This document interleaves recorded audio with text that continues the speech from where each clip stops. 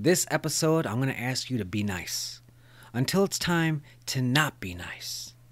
That's right. This week, we're going to look at the first 10 pages of Roadhouse. Written by Hilary Henkin, based on material by R. Lance Hill. So let's take a look at the first 10 pages of Roadhouse here. 124 page screenplay about a bouncer. Somebody asked me, they say, What's Roadhouse about? I said, He's a bouncer. They said, I, I, I got that, but what is it about? And I said, Okay, yeah, he's a bouncer at a bar. A guy comes in, says, Hey, you're a really good bouncer. Do you want to be a bouncer at my bar? And he says, Okay, I'll, I'll do that. And then he becomes a bouncer at that bar. And that's the movie. There's some fighting, some stabbing, some uh, ripping throats out. But that's it. He's a bouncer. He's a cooler. So let's take a look here at the first 10 of Roadhouse, which I love the fact that it's written by a woman. Who, who knew that coming into this episode? That Roadhouse was written by a woman. Right away, something that we don't see too often here. It's almost like a cover page. It's almost a resume here. Uh, Dalton has a degree in psychology from NYU. He drives a new Mercedes. His entire worldly goods fit easily into the trunk. He carries his x rays and medical records with him. He keeps in superb, superb condition a body that has been shot and stabbed and had more than 30 bones broken and has been screwed back together by an impressive array of stainless steel screws. He has already worked in almost half the states in the Union. He makes a lot of money. He is the best there is at what he does. He is a bouncer.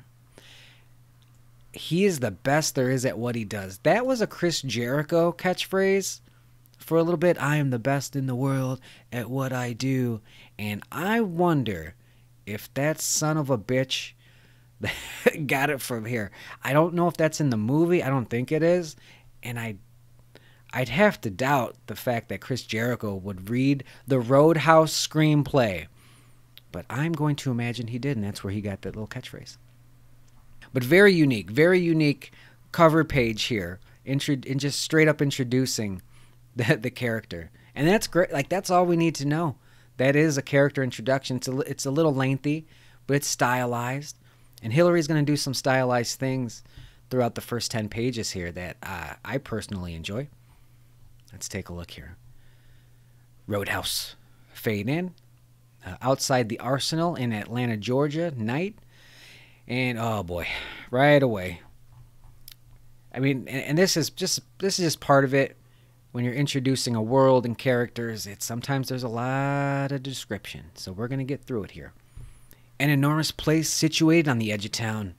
The club is built from something that looks like an old warehouse or airplane hangar.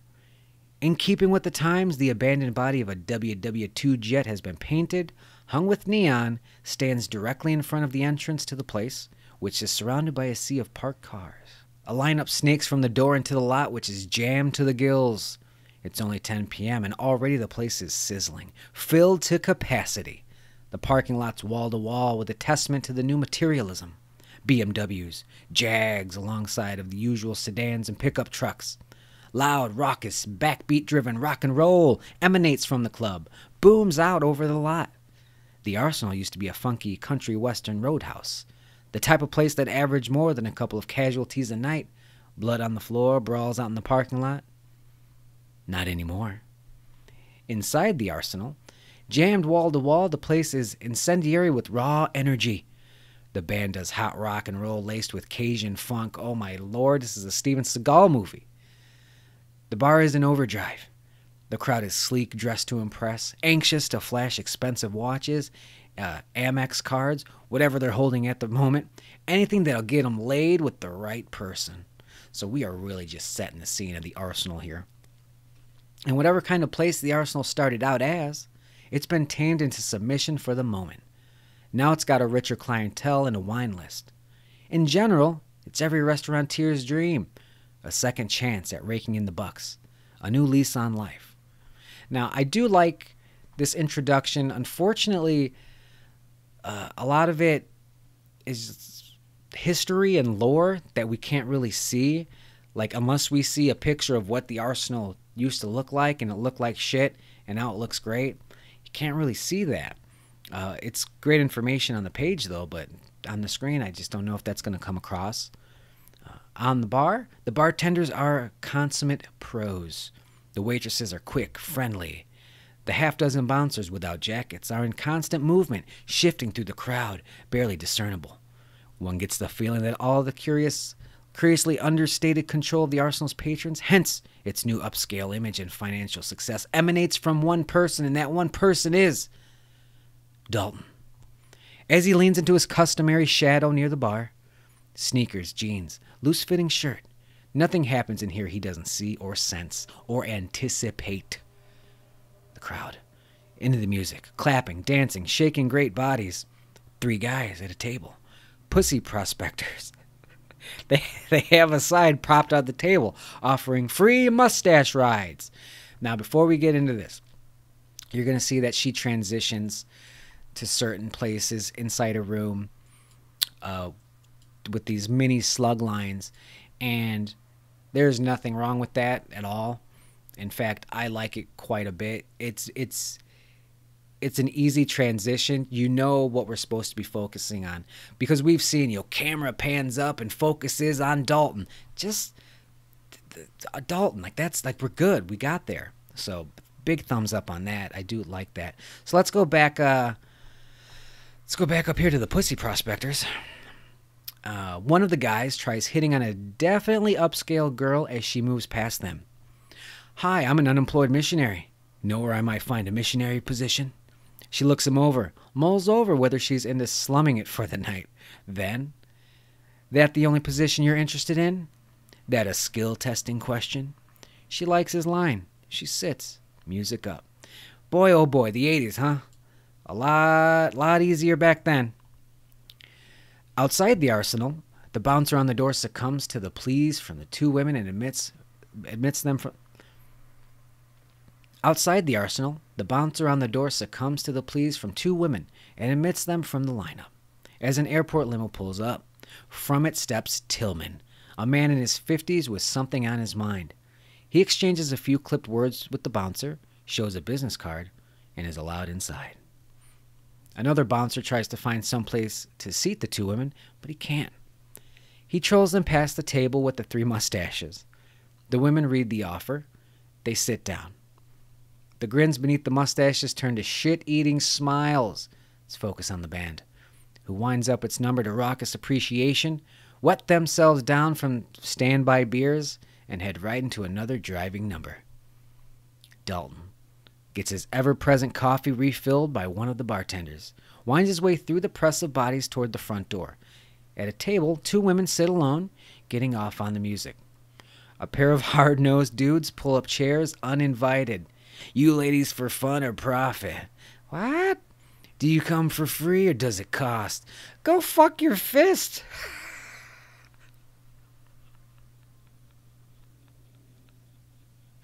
this screenplay is great.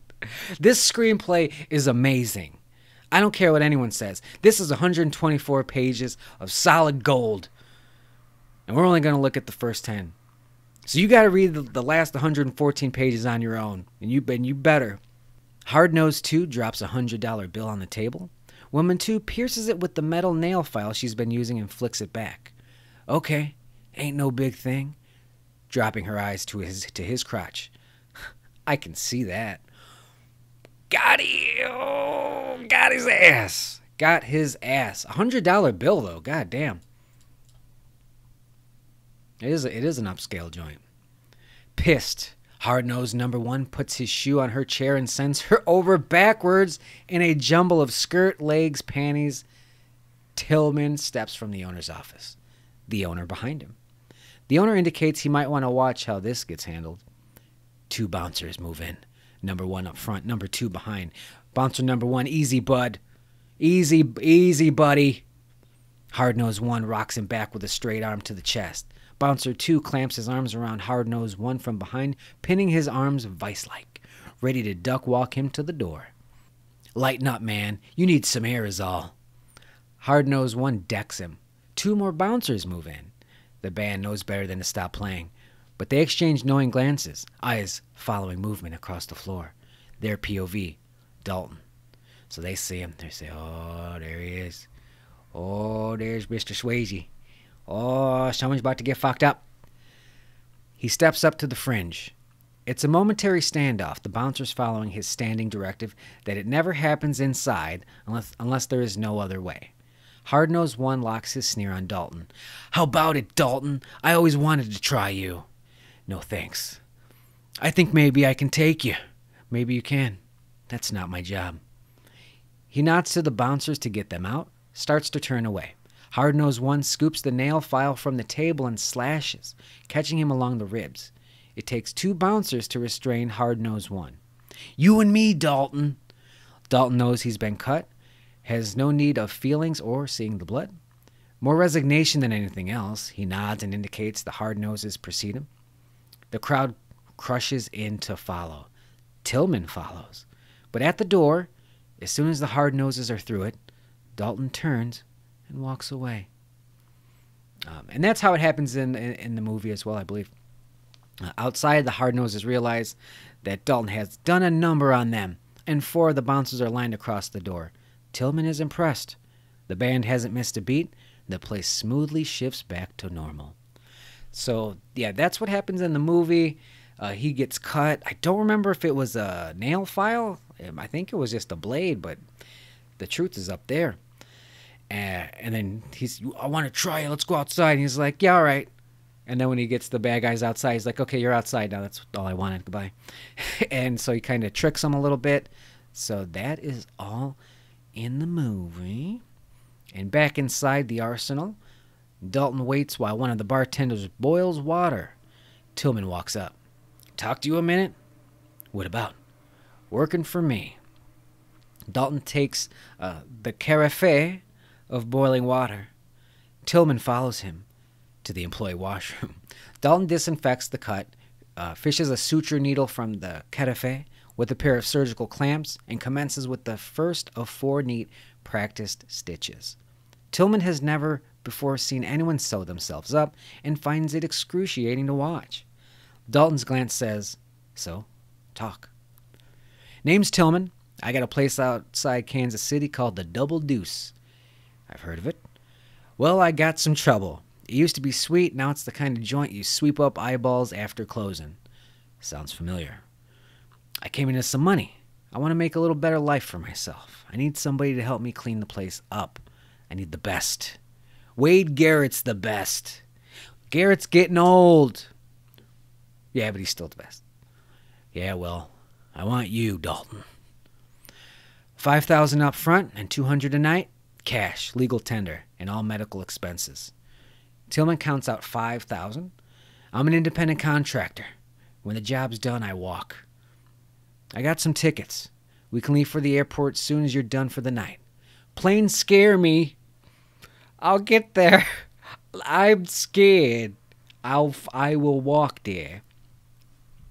Tillman starts for the door, hesitates. I uh I thought you'd be bigger.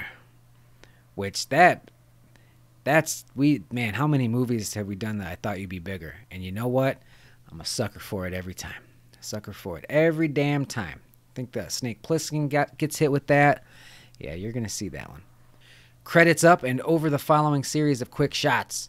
Exterior. And so we get a little bit of a montage here as he gets ready for his big move because he doesn't like aeroplanes. Um, so he's going to just drive it out. So he goes and gets his stuff. A Mercedes 5, 560 SUs. I don't know cars. Uh, so super cool car right there for you.